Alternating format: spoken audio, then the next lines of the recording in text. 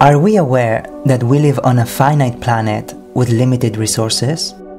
In the case of water, only around 2% is available fresh water for the human consumption. This scarcity means that nowadays, 3 out of 10 people do not have drinking water.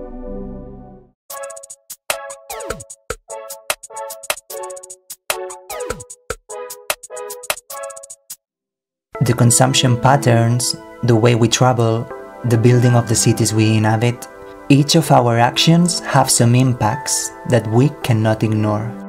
The construction activities require a high demand of material resources, energy and water, and therefore they are responsible of an important part of the impacts generated by the society. According to UNESCO, it is expected that the levels of nitrogen that rivers provide to the coastal ecosystems increase from 10 to 15% as a result of the population growth in the next three decades. The Environmental Product Declaration Program, DAPCONS, quantifies the impacts generated by construction products considering their entire life cycle from the extraction of raw materials to the end of life, passing through manufacture, distribution, and use of the product. These environmental declarations take into account eight environmental impact categories, such as depletion of the ozone layer, waste generation, depletion of abiotic resources, or eutrophication.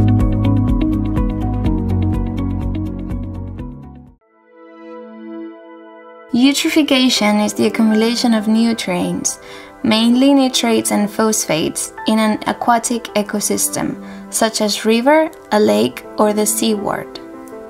These nutrients are essential for primary production, but when certain concentrations are exceeded, they become a risk of contamination. The abundance of nitrates and phosphates cause the massive proliferation of algae and phytoplankton, which has some consequences. On one hand, algae consume oxygen, causing the death of aerobic organisms, which are those that need oxygen to live. This phenomenon is known as hypoxia. On the other hand, the water becomes turbid and it hampers sunlight from reaching the bottom in such a way that photosynthesis cannot occur and plants die as well. All of this causes toxic bacteria and algae to survive, which in return releases other pollutants such as sulfites, methane, or ammonia, which drastically reduce biodiversity. The industrial effluents that are spilled into aquatic environment and the domestic products that are poured into the sewage system, as well as fertilizers of agricultural use, contribute to the appearance of algae that are characteristic of eutrophication. Within the life cycle of construction products, the emission of nitrates and phosphates can come from different phases.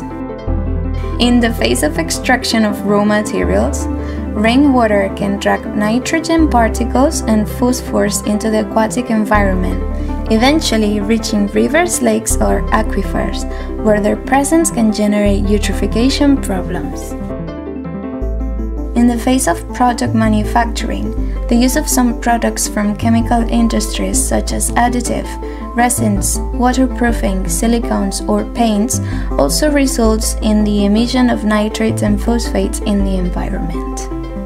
Other nutrient sources that may cause water eutrophication are deforestation in areas of construction or extraction of materials, the use of machinery, and transport, which emit oxides of nitrogen and sulfur into the atmosphere, causing acid rain that carries nutrients to the water.